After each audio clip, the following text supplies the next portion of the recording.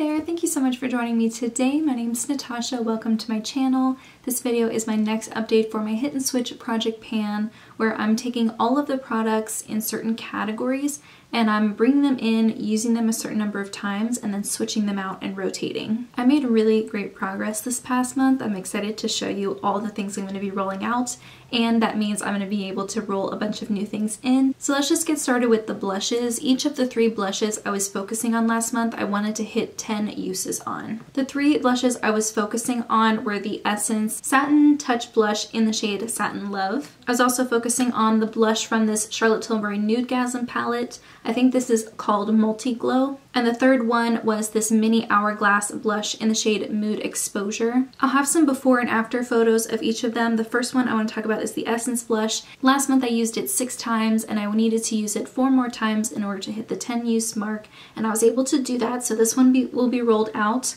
The second one was the Charlotte Tilbury Multi Glow one. I had rolled that in last month and I needed to use it 10 times to move it out and I was able to use it 10 times so that one will also be rolled out. And the one that will be staying in is the Hourglass Mini Blush. I did use this eight times this month so I just need to use it two more times next month and I can roll that out. Because I'll be rolling these two blushes out, I want to bring two new blushes in, and I want to focus on the two blushes from this Cover FX Soft Peach Duo. I want to use both sides of the duo 10 times each. More often than not, I usually use the matte blush first and then use the more shimmery side as a topper. I am going to try to use the shimmery side on its own a couple times just to get a better feel for how it performs on its own because I'm actually not sure even though I've owned this for a long time. So I have the Hourglass blush and then I have these two PG blushes, and those will be the three blushes I'm focusing on this month. Now for highlighters, the three highlighters I was focusing on last month were the Melt Stargazer, Stargazer highlights,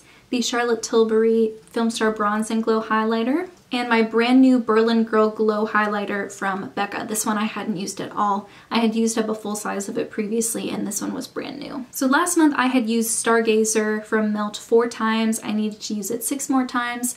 I was able to use it an additional six times to roll it out. The next highlighter that I focused on was the Becca Berlin Girl Glow one. I did use this one 10 times, so that will be rolled out as well. And the last one I was working on was the Charlotte Tilbury Film Star highlighter. I used this seven times, meaning it's gonna stay in this month and I'll roll it out once I use it three times next month. Again, because I was able to roll out two highlighters, I'm gonna bring in two highlighters and I'm gonna stick with the duo palette thing that I did with the blushes and I'm gonna focus on the first two shades from this Flower Beauty highlighter palette. I'm to focus on these two pink shades here. And again, I need to use both of them 10 times in order to roll them out. Now for bronzers, I was focusing on two bronzers the first one was this Becca Bali Sands bronzer and the other one was the Contour Wand from Charlotte Tilbury. The Charlotte Tilbury wand I had in the previous month as well and I had already used it nine times. I used it an additional 11 times this past month to roll it out and the Becca Bali Sands was my main bronzer for the month and I used this 20 times so it will also be rolled out. There were a few occasions where I wore these together like I'd wear this as the, my main bronzer and then this more as like a contour but most often I just use them on their own and apparently I just want to focus on all of my face palettes this month because the two bronzers I'm going to be rolling in to focus on are also from the Nude Nudegasm face palette from Charlotte Tilbury. So to be clear, I'm using the Nude Nudegasm palette the highlighter trio from Flower, this duo from Charlotte Tilbury, the Film Star duo, and then the duo from Cover FX. Like, I'm pretty much bringing in every face palette I own. Anyway, I want to use the bronzer and contour. This bronzer side here, I've already used five times, so I just need to use it 15 more times to roll it out. The contour, I haven't used it all yet, but I think what I'm gonna do is use it mainly as a contour. Like, I think this is a little bit too cool toned to use all over the face. I will try it to see if it works as an all over bronzer, but if it doesn't, I'll just use it with the bronzer as a contour. So depending on how often I use both of them together, I might be able to roll out both of them next month. So for lip products, I have six lip products that I want to use 10 times each throughout the project. I'm just focusing on ones that I really like but tend to get neglected. Maybe I'm not ready to pan them or maybe they're not like everyday colors. And so the first one I was focusing on was Pillow Talk medium 2 and I had already used it two times last month and I used it an additional times this month to roll it out and I did really enjoy it. I think it's a beautiful color but it is not really an everyday type of color for me. And I knew I was going to be rolling in this tinted lip balm from Charlotte Tilbury. It's in the shade Romance Kiss. This is super pigmented tinted lip balm and this is again not really like an everyday shade for me although I did reach for it five times this month to kind of get a head start for next month and I actually really like it a lot. I love the formula. It's really thick and balmy, but it's super pigmented and it does pull a little bit more orange on me. So it's not like a berry or a brick red. It's more of an orange. And that's not really something I tend to reach for all the time. So the undertone is just a little bit more finicky and I have to have specific looks to make this work. Now for fragrances, I have two Pacifica fragrances that I was focusing on. I was focusing on French Lilac from Pacifica. This is a full size. And then I had this roller ball of Enchanted Woods. Pacifica French I had already used 10 times last month. I ended up using it an additional 11 times, hitting my 20 use goal. So I will be rolling this out. And then Enchanted Woods, I needed to use it 20 times in order to roll it out and I actually used it 22 times. At first I wasn't crazy about this and I was very close to decluttering it. And I was also close to decluttering the other perfume that I'll talk about in a second. But after using it for a while, I actually really liked it. And I realize now that I really like it as a winter fragrance. I think maybe the last time I was using it and trying it out, I was probably doing it at a different time of the year where it wasn't as appropriate, I guess. I mean, you can wear whatever you want all year round. So I am glad I got to pull it out during this time of year because I ended up really liking it and as a result, I'm not going to declutter it. So both of those are rolled out and the one that I knew I was going to be rolling in next was this one from Commodity. It's Orris and this also has a very, very specific scent to it. It is very strong. I wanted to bring it into the project because it's the type of fragrance that I never think to grab over my other fragrances. I have like three or four favorites and then this one kind of just always gets forgotten about because it is so strong. And again, I realize I really like this as a winter fragrance. So to get a head start on this month, I actually used this 10 times. I, I like this a lot more than I thought I would. Again, I thought I was going to declutter it, but now I'm not going to because I found a time of the year where I really like it. So again, I just need to use it 10 more times to roll it out. And the other fragrance I'm to focus on is a favorite, one that I love. This is from Define Me. It's the Ariel version, and I mean, number one, the packaging super beautiful. But this fragrance is so nice and so unique. I think I read that it has like driftwood in it. Mm.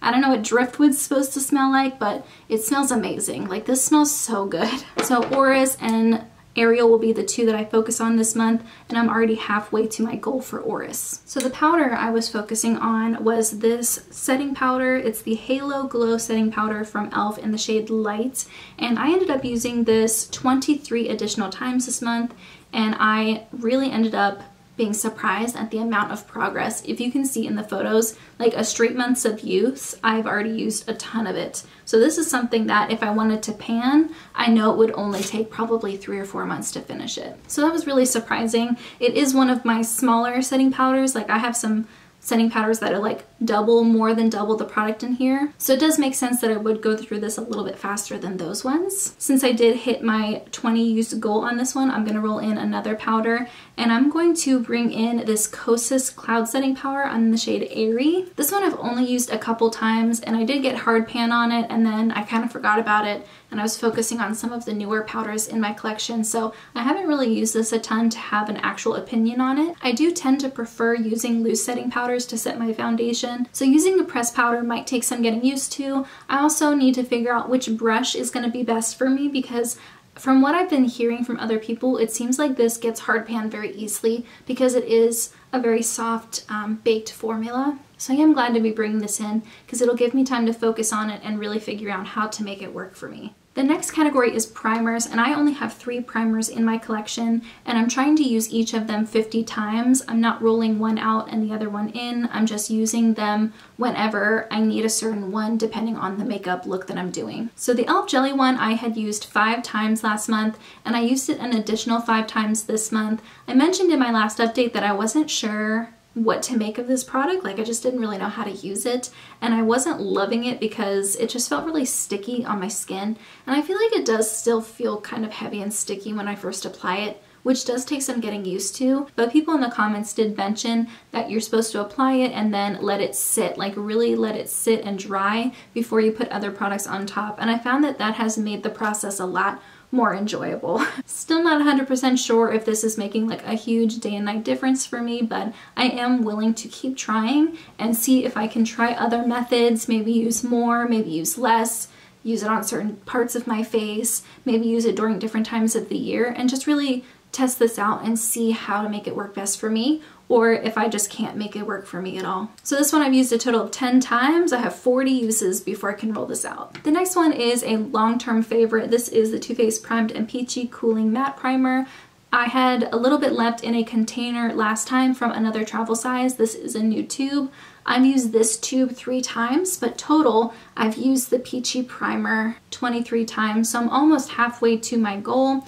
I really like using this just on my T-zone to keep myself from getting oily. I do also find that it helps to uh, make my pores a little bit less noticeable. And yeah, I'm glad to be done with the other one because I had to cut it in half and put everything in a little container in order to get the rest of it out. And I did find that it was getting a little bit drier and a little bit harder to use. So I'm glad to have it back in this packaging where it's a lot creamier and a lot easier to use. And the last one is this primer from Charlotte Tilbury. It's the Brightening Youth Glow. And I use this sometimes just as a glowy primer. Other times I'll use it as a foundation mixer. And I found that that was how I used it the most this month. Last month I used it 16 times. This month I only used it 7 times. Total I've used it 23 times, just as much as the Too Faced primer, meaning that I'm just about halfway to my goal on this one. The last category is setting spray, and my setting sprays also have a 20 use goal. The one that I was focusing on last month is this one from Charlotte Tilbury. It's the Airbrush Flawless Setting Spray. This is a very dewy spray. Like this makes you very glowy,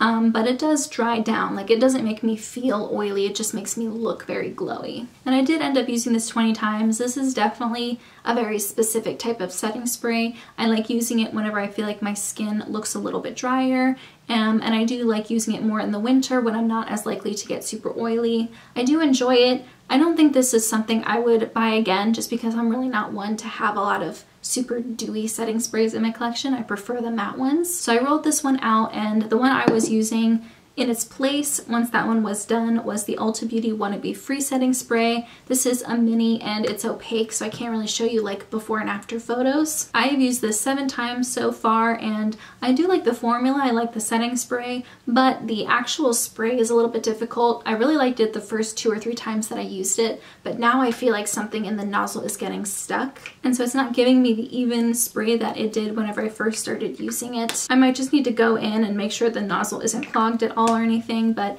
I mean, it's okay. I enjoy it, but it's not like my favorite mattifying setting spray out there. And once I've used this 20 times, I'll need to use it 13 more times to roll it out. Once I do that, I will roll in my newest setting spray. This is from ColourPop. It's the No Filter Setting Mist.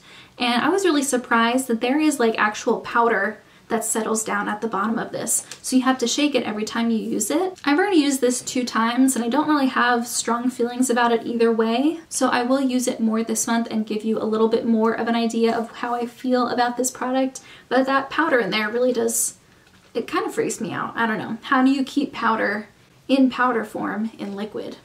Anyway, I'm going to show you a chart of a snapshot for February. All the products that are in black are ones that I was able to hit my goal on and roll out, and the ones in pink are the ones that are staying. And then I will show you a snapshot for March so that you can see all of the products that I'm going to be focusing on this month. Again, if you have any suggestions on how to make this more interesting to watch or make it easier for me to track, because I feel like there's a lot of moving parts, I would really appreciate any feedback you have. This is my first time doing a project pan in this form, but I am loving it so much. I feel like this is the most I've been able to keep everything even. Like usually with project pans, you're just focusing on one product at a time. And for me, I tend to just focus on those products and then everything else gets neglected. But this is the first time where I feel like I'm really getting a feel for everything I have. I really appreciate you watching, but in the meantime, that's everything I have. Thank you so much for joining me and I'll see you in my next video. Bye guys.